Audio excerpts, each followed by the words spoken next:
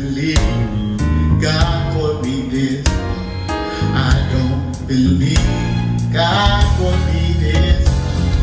I don't believe God for me this. I don't believe God for me this. I don't believe.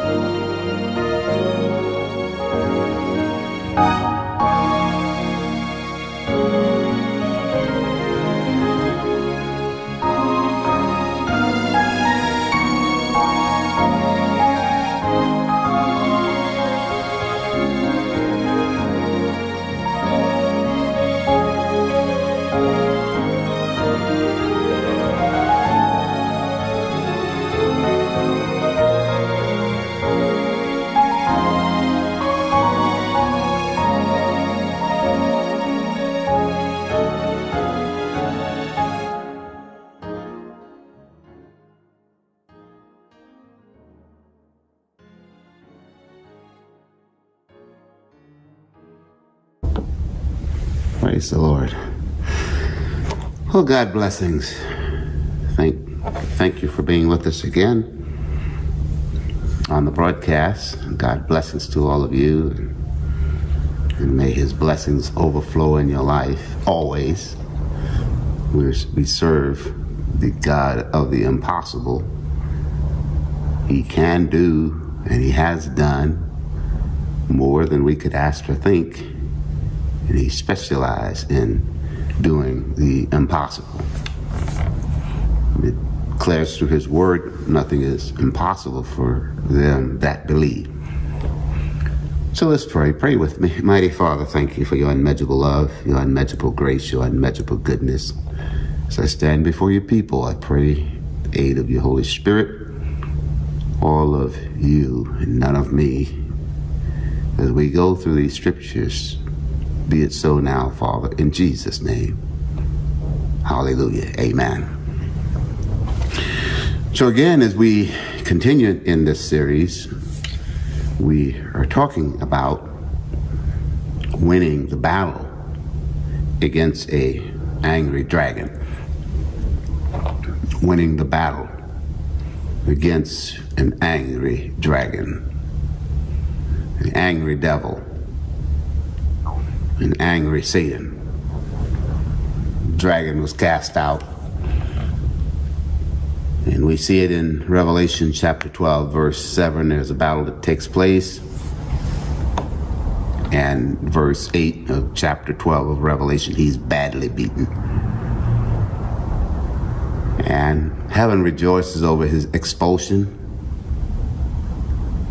There's a great warning to those on the earth. We see it in Revelation chapter 12 and 12.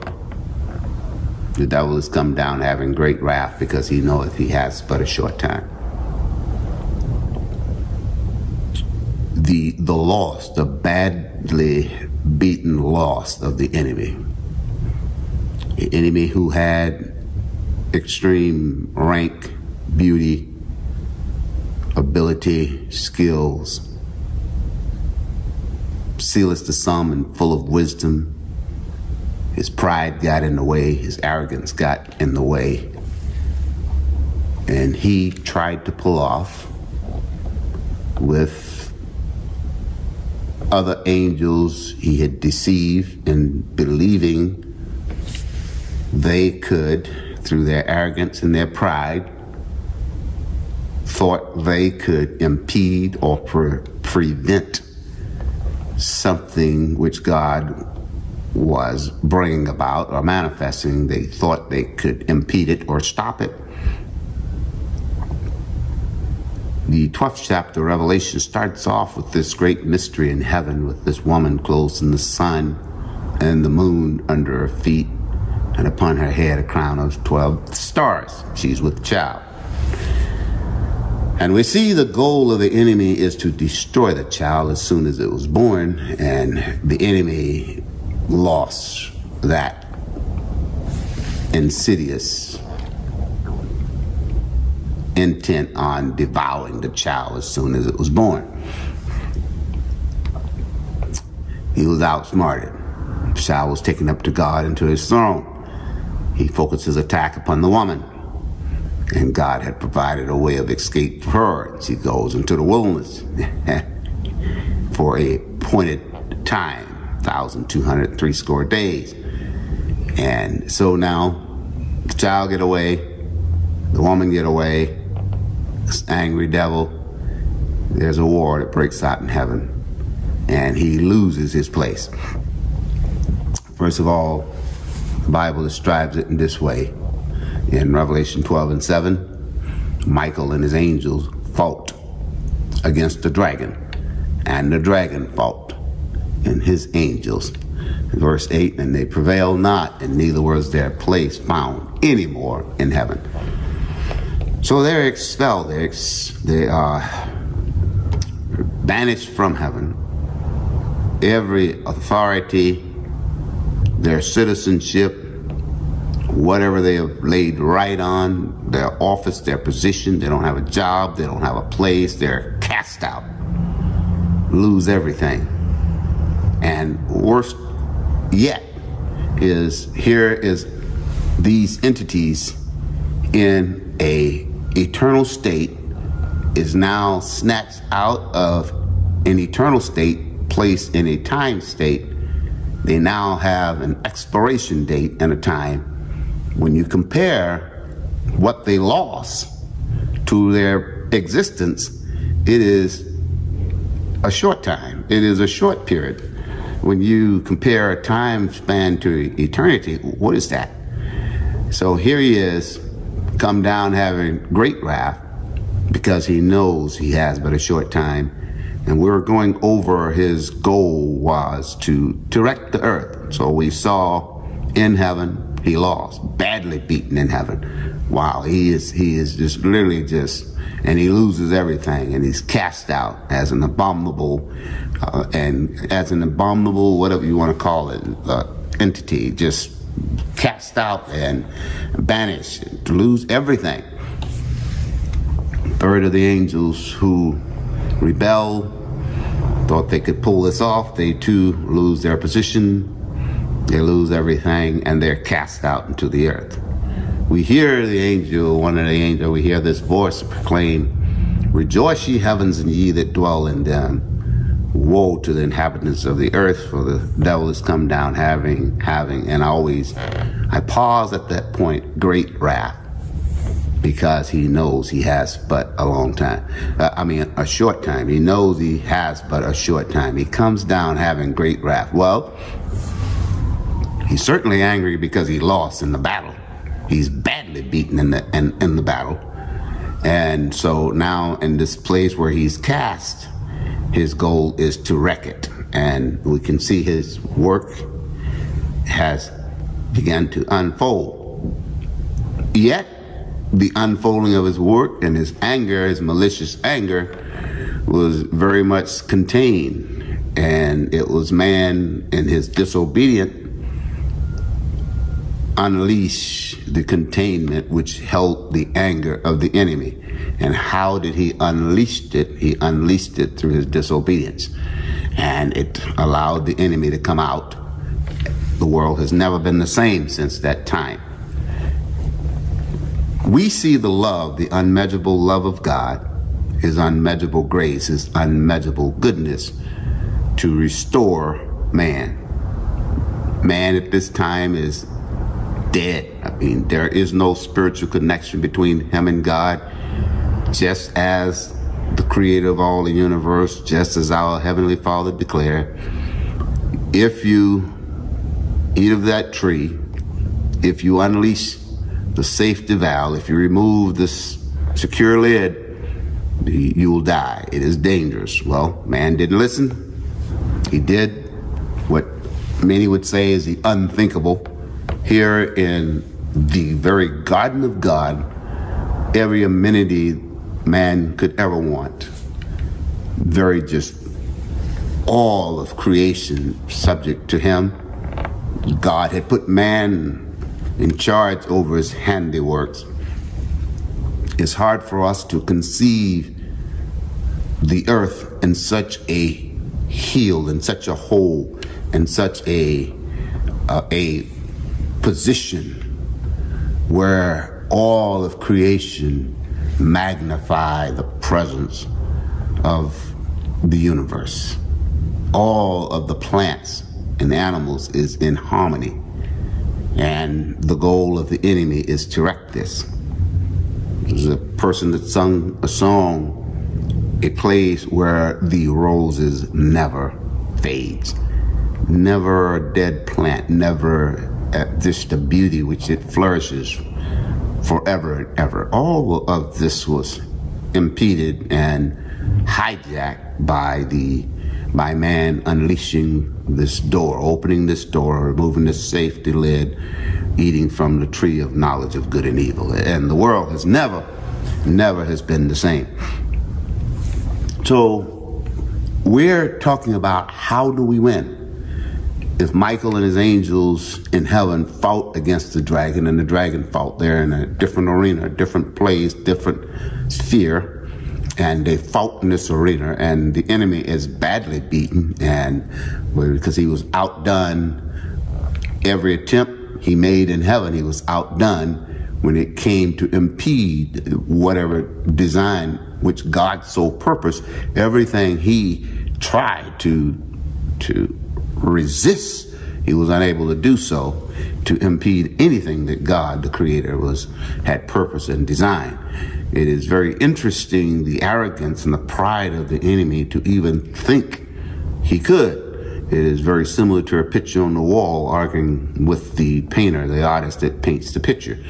I believe it was also another analogy which Jeremiah he used in the analogy, I believe it's in the 18th chapter of Jeremiah, as he was explaining the potter. He's explaining the potter how he's creating and making this vessel, and he were using the analogy.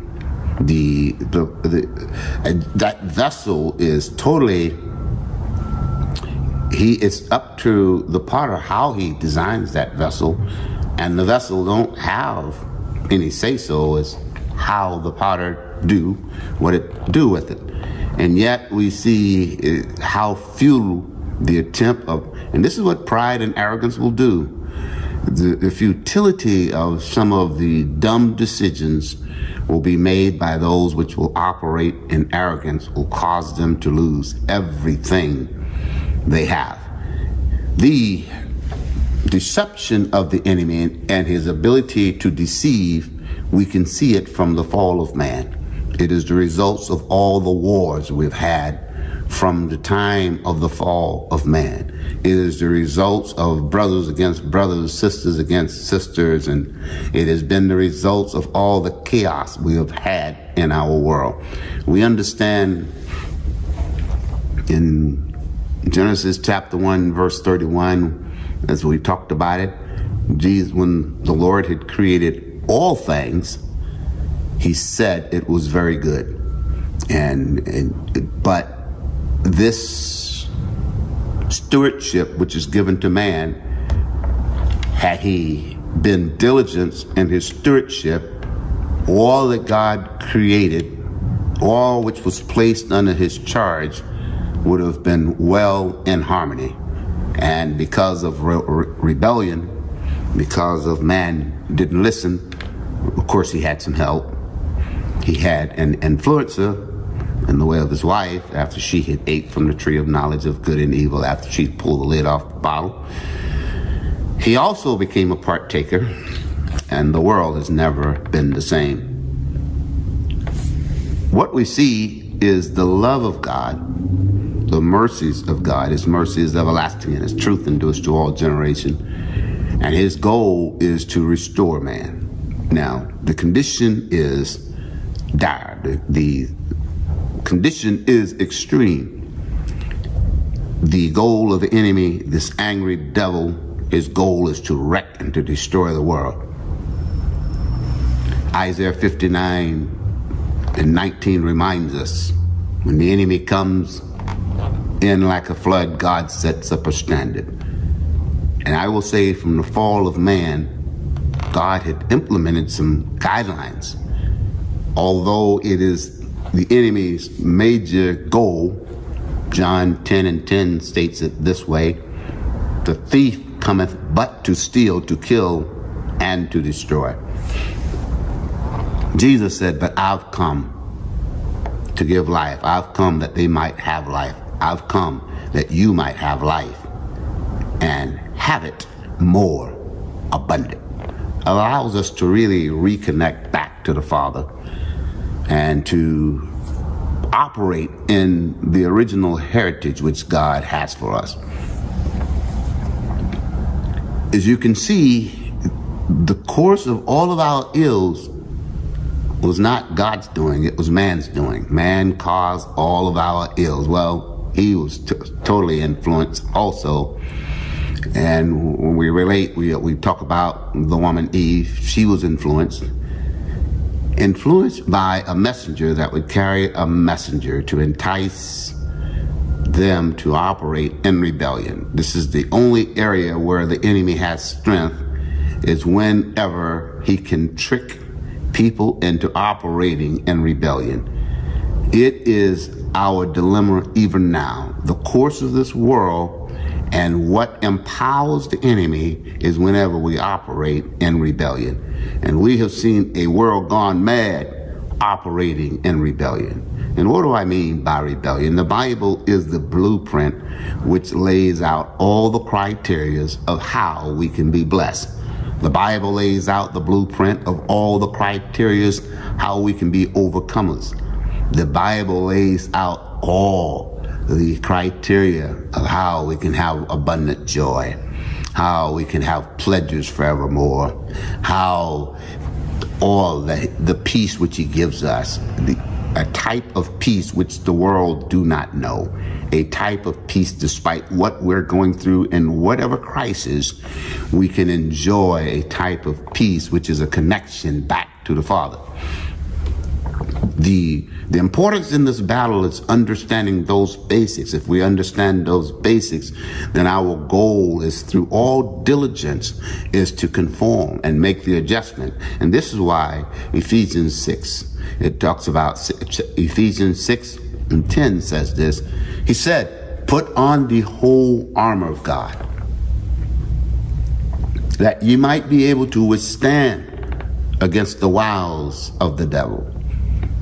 Here is Paul, he's telling us how we can win against an angry devil, how we can win against the angry dragon.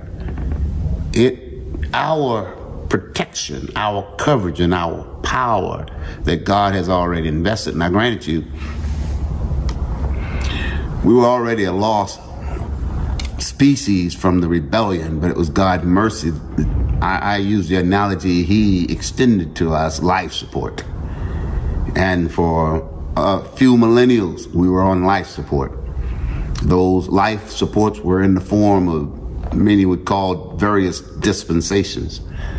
And we see that those life supports, yet there were a day of deliverance coming.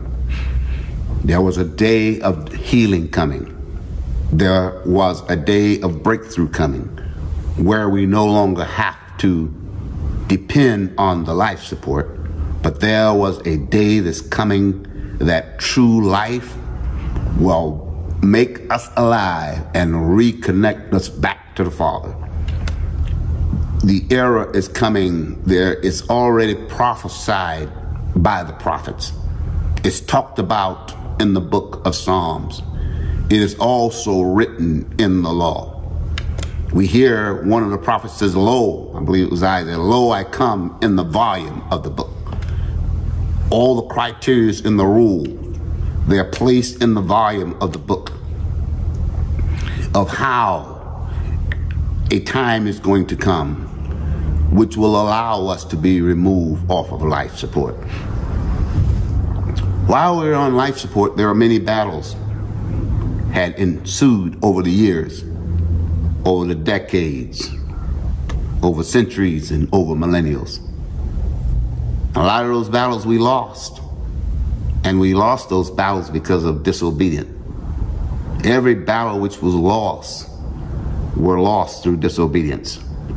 Every agreement which God had made with man doing those various errors, some of those men's kept their part of the agreement and others did not. And the bulk of those doing that error did not keep their agreement and the outcome was never good. The enemy was able to destroy in their life and wreak havoc in their family. All the hateful and cruel things which happened, the Lord, if man would have operated in obedience, all those things could have been offset. We hear again in chapter 9, I believe, in, of, of, of Psalms, verse 17 talks about every nation which forget God. It's coming down. And every nation which forget God will be cast into hell.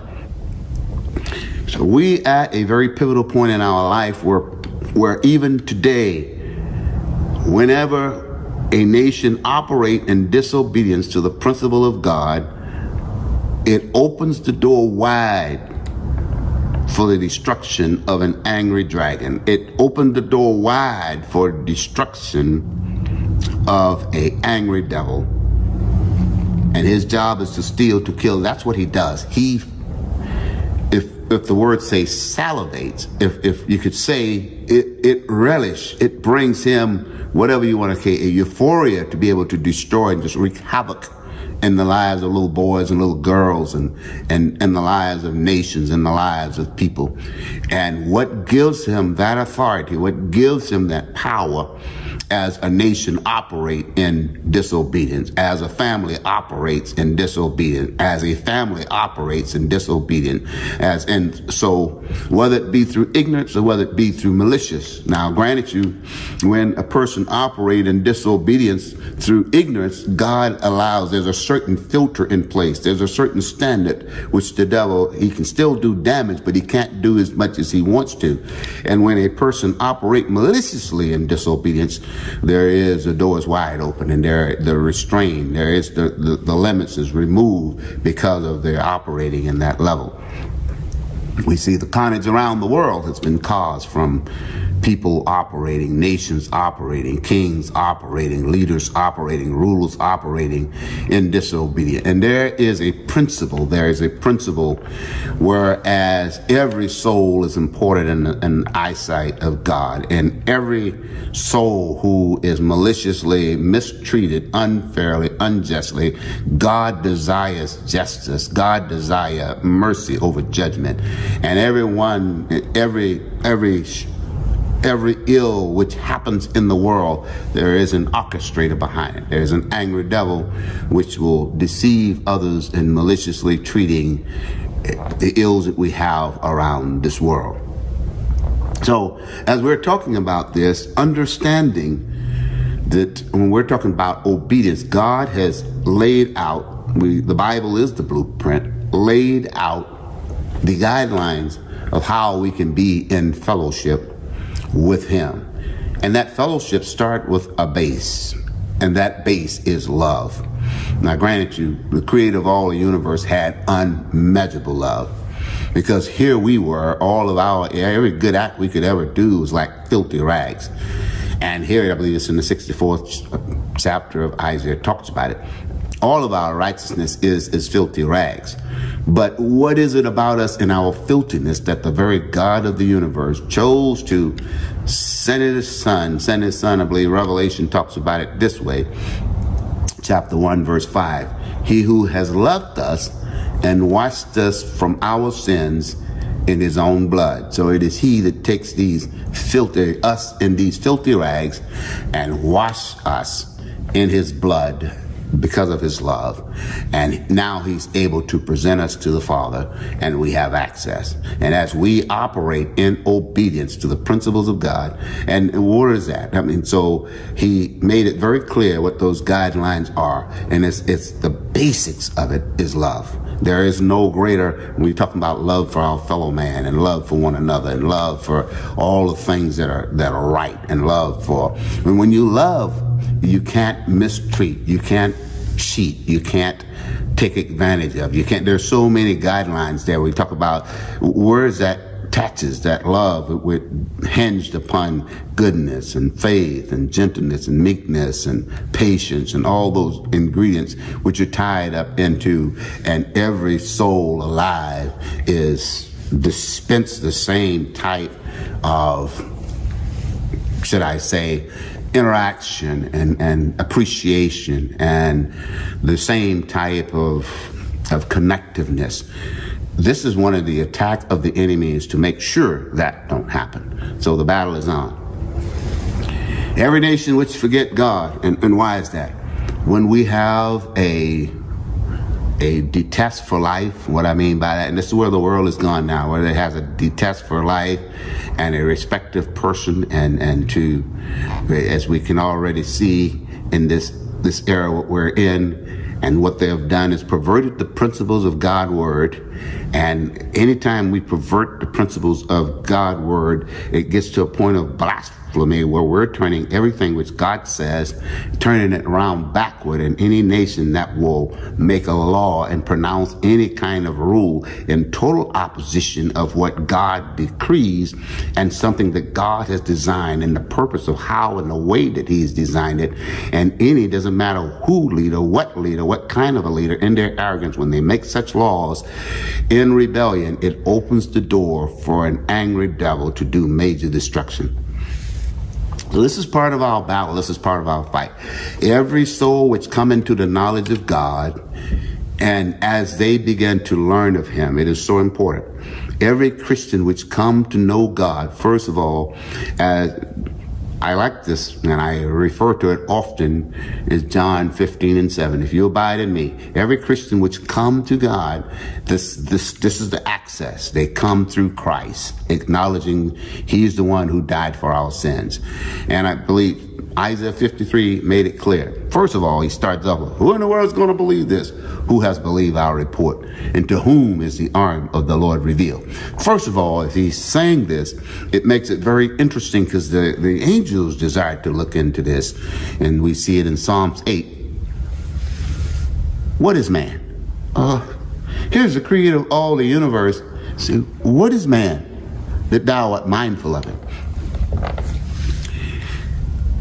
Angels trying to figure this one out. What is man that thou art mindful of him? So Isaiah, he's saying, who has believed our report? And to whom is the arm of the Lord revealed? He shall come up before them as a tender plant, as a root out of dry ground. He has no form nor comeliness, and we shall look upon him. There is no beauty that we should desire him. He's despised and rejected of men, a man of sorrow and acquainted with grief, and we hid as it was our face from him. Surely he's borne our grief and carried our sorrow, yet we did esteem him stricken and smitten of God and afflicted. But he was wounded for our transgression, and he was bruised for our iniquities. And the chastisement of our peace was upon him, and with his stripes we are healed. Say, all we like sheep that have gone astray, and everyone is turned to their own way, but the Lord has laid upon him the iniquity of us all. He was oppressed and afflicted. As a lamb to the slaughter, as a sheep before a shearer is dumb, but yet openeth he not his mouth. Listen, it was this kind of love that God has for us. Uh, I hear what the the I hear what the psalmist is saying, and I hear also I hear what Isaiah is saying in this chapter, chapter fifty three. Who who who has believed our report? Who's going to believe this? That the creator of all the universe is is is doing how how can he love us? How how, how do you measure this? To me, there there is the awesomeness of what it means to be in God present and to get some insight, insight of what it is.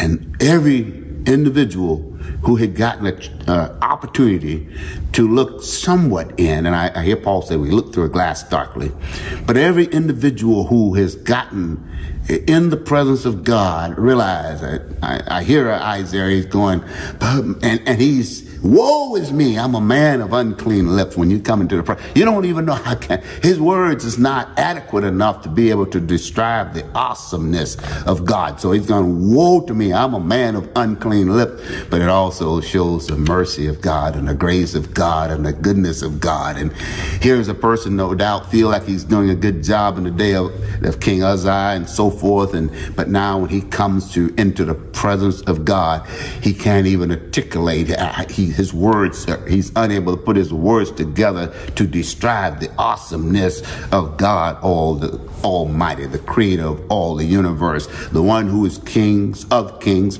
and the one who is lords of lords. And he's trying to put it in. So he's going, woe is me that I'm a man of unclean lips. So when you look at this and the love of God and what it is to reach out to us, these, these, these beans and filthy rags. And it doesn't matter all the good that we're trying to do, it can't connect us back to God.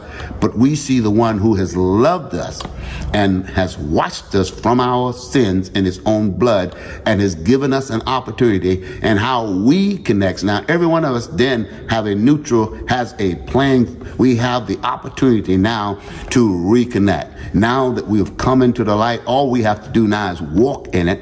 How do we walk in it? We walk in it through obedience. And how is this made necessary? It is made necessary by what the Lord Jesus declared unto us. He says, learn of me. He said it in Matthew 11 and 29. Learn of me. My yoke is easy and my burden is light. Now let's say this. When you're in a battle, everything won't be pleasant. Or may not appear to be pleasant. But let's also explain it like this. There's always, you hear some say, well, the way it, it's hard being a Christian. No, it isn't. It's hard if you choose not to learn of Him. Because if you choose not to learn of Him, there becomes, the more you don't know about the Lord once you've accepted Him, the more you are exposed to the attack of the enemy. So here's what the word says Many are the afflictions of the righteous. Well, if we get many afflictions being righteous, then where do we get where we are not being afflicted? Affliction is painful. So he's saying, Many are the affliction of the righteous. Then, if many are the affliction of the righteous, what other option do I have? Well, I'm glad you asked, because the other option you have is to be holy.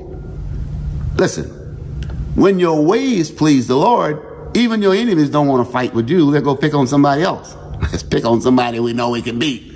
That's the way it is for the enemies. So this word says, if your ways please the Lord, that even your enemies, that's our other option. And Paul is saying it too in his words and how he's saying it. He says, be strong in the Lord and in the power of his might. So when you're in battle, and you're strong in the Lord and in the power of his might, and you begin to learn of him. See, when we're talking about the difference between righteous and holy, holy, and I say it again, has been redundant. The way I look at holiness and being holy is not some accolade that you wear so you can have bragging rights for somebody can try to give accolades to your life. But I believe that holy is where you become submersive, where he says, if you abide in me, my word abide in you, where that individual becomes submersive in the word of God. As Jesus said, learn of me. That's that individual that really has a hunger and thirst and really began to learn of him and really began to come to know God in the real. As it stated in Psalm 16 and 11, in his presence is fullness of joy. Is that individual become so submersive in the word of God to their in full joy and their fullness of joy and at his right hand are pledges from forevermore. And there have been those even in the Old Testament who've had a fellowship with God. They were submerged in him. And I believe the three Hebrew boys in the third chapter of Daniel is just a few of those people who were like that. They're able, in the midst of what others would have been panic and sweating and, and feel like it was the end of the world, brought before the king and they're saying, "Hey, I, I, hear that you didn't bow down. I hear that you. I'm, I'm gonna give you another opportunity. You didn't worship the image." And these boys going, "No, we heard it correctly, and we're not doing this." And of course, the king got extremely mad, and his whole vestige changed. And nobody don't talk to a king like that. And so he had his powerful, strong men no doubt the strongest one he could find eh, because he's in such haste and he's so angry throw these men and of course before he do this he relished in the fact that he's going to heat this flame seven times hotter than it had than a normal flame. When you're holy and you're submersive in the word you're not affected by the though the earth be removed you're not affected by that. Though whatever comes your way you're not affected by it. You are at the point where nothing will separate you because you've become submersive in the presence, in the presence, in God's presence. There's fullness of joy. Whatever's going around you, you're not moved by that. Though the world be moved, and though the, the, the, the mountain rents, whatever take place, though there be plagues, though there be, be whatever, wars and rumors, whatever is taking place, you're not moved by that. Though whatever threat that comes upon your life to you when you're in God's presence, not a threat at all. These boys were there. And so we see in this third chapter of Daniel, nope, we're not going to bow down. And the king, in his arrogance, he will see what kind of God you serve. There's no God able to deliver from fire. And and lo and behold, he is in think he's losing his mind because he looks and he sees and he called all of his counselors and whoever. It's almost like somebody calling a psychiatrist. Am I losing my mind? I know I threw in three. I see the four. I see four. And one of them looked like the son of God. So, what an, what an insight. And he calls these boys out, and there is no smell of smoke. Now, why am I saying this? There's a place and an opportunity for all of us to put on the full, the whole armor of God.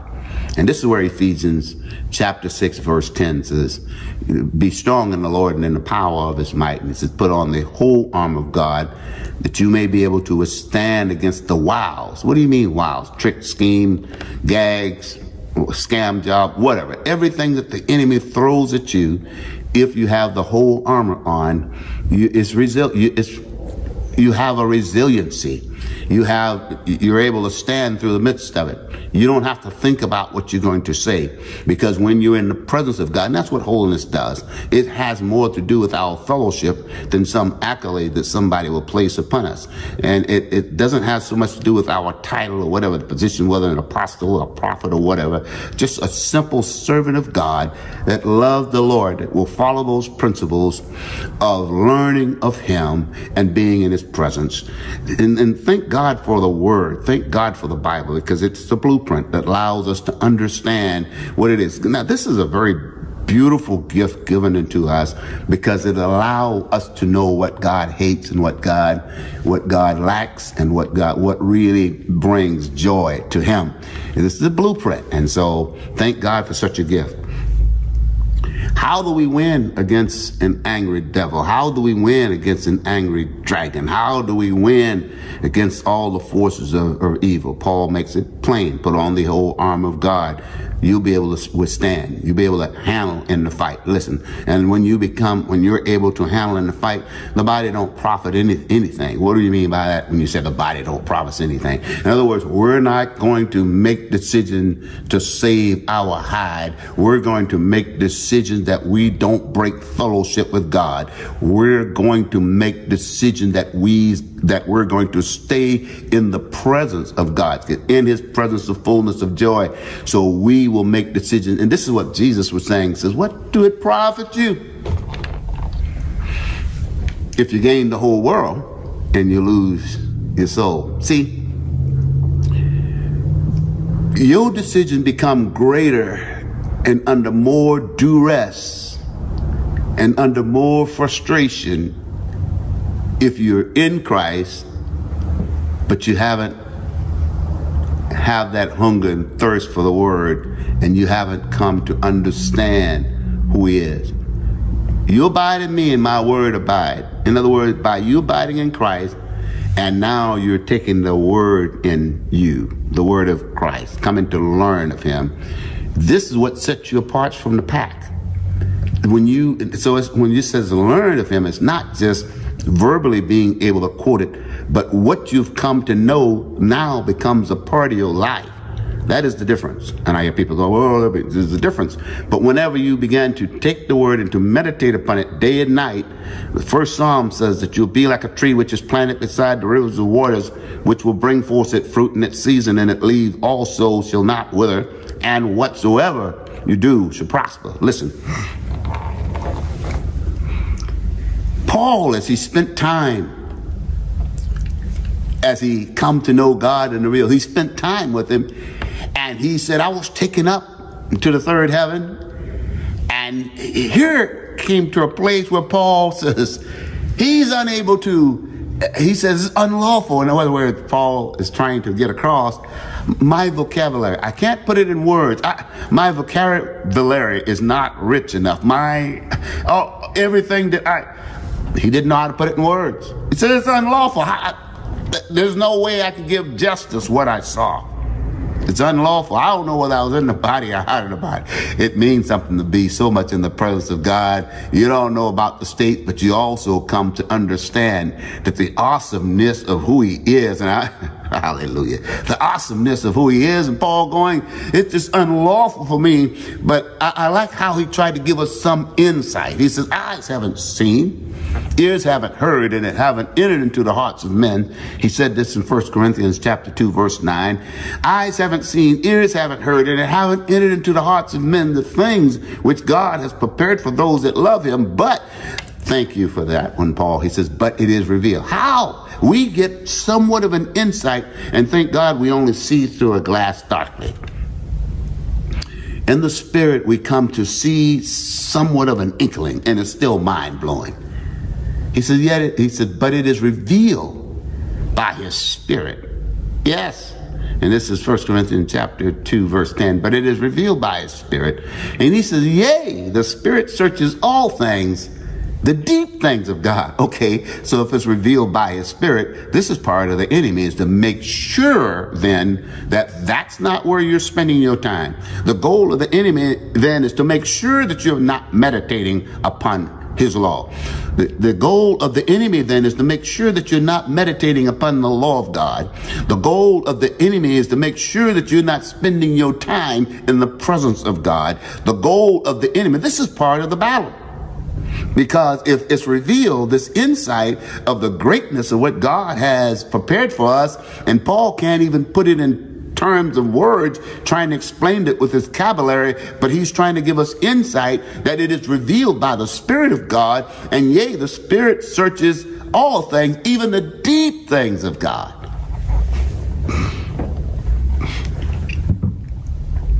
Hallelujah. Hallelujah. So I see why he says ears haven't heard, eyes haven't seen, hadn't entered into our hearts. So obviously, as we're talking about how to win, we will continue. We're already out of time, but we'll continue. As, as uh, look forward to you all joining with me as we continue this journey talking about winning against an angry devil. God has empowered us to win, and we can win, and we must win. It's already been paid for. He's provided all the tools for us. So let's win. Hallelujah. God bless him. So until next time.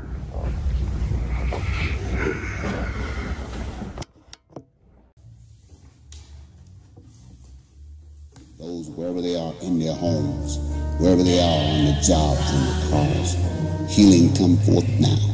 Deliverance come forth now. Breakthrough come forth now. In the mighty name of Jesus, be made whole from the crown of your head to the sole of your feet. Be made whole. Hallelujah. Be made whole. The blood of Jesus make thee whole. The blood of Jesus makes thee whole from the crown of your head to the sole of your feet. Be whole in your mind, in your heart, in your soul, and in your spirit. Every shackle be broken now. Every wall come down in your life now. Joy of the Lord come forth. Peace of the Lord come forth. In Jesus' mighty name. Whatever that be, there's those special prayer requests. We're standing and we're touching and we're agreeing with those requests now in Jesus' mighty name. Be it so. Be it so. Be it every wall down in Jesus' name. Hallelujah. And those things that we need to pray, that the things that we don't know how, we pray that the Holy Ghost will intercede in those areas in Jesus' mighty name. We commit this into the Lord Most High, and it is so. It is so. It is so because your eyes is upon the righteous and your ears is open to their cry that whenever the righteous cry you hear it and you delivereth out of all their troubles the angel of the lord encampeth round about them that fear him and delivereth them we thank you mighty god because your word declared that to a thousand shall fall at our side and ten thousand at our right hand it won't come nigh us we'll see it with our eyes but it won't happen to us we thank you. Let, let it be our passion always to be in your secret place. We thank you for the miracles today. Thank you for the healings today. Thank you for the breakthrough today. And even now, as we're touching and agreeing, because your word said we're into touch and agree, you would give it us. We would stand, touch and agree.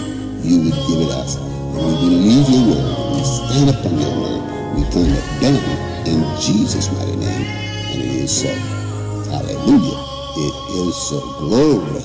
It is so. Mighty God, thank you. Thank you for hearing us.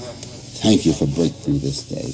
Thank you for deliverance this day. Thank you for change of heart, change of mind, change of spirit, change of soul. Unmeasurable is your love. Unmeasurable is your goodness. Unmeasurable. Hallelujah. Thank you, mighty Father, that you love us that much. You give us access, and it is it is it is your will to give us the kingdom. And we thank you for that, mighty God. Thank you. Hallelujah. Yes, thank you that whenever the righteous cry, you hear it and deliver us from all their trouble. Thank you for victory today. In Jesus' mighty name. Hallelujah. And it is so. so again, go in peace. Enjoy the blessings of the Lord. He is for you, and it brings him pleasure when God's children operates and God's children began to utilize those gifts, those ability, healing is the children's bread, and it brings God's pleasure whenever we operate upon his word. We take those things that rightfully belongs to us that he's already paid the price for. Christ paid the price for it all. He was the one that poured out his soul unto death, was numbered with the transgressors, bear the sins of many, and interceded for the transgressors. That's the kind of unmeasurable love that Christ has for us. And Jesus went far enough to say, evil fathers know how to give good gifts to their kids, then how much more would the Heavenly Father give the Holy Spirit to them that ask?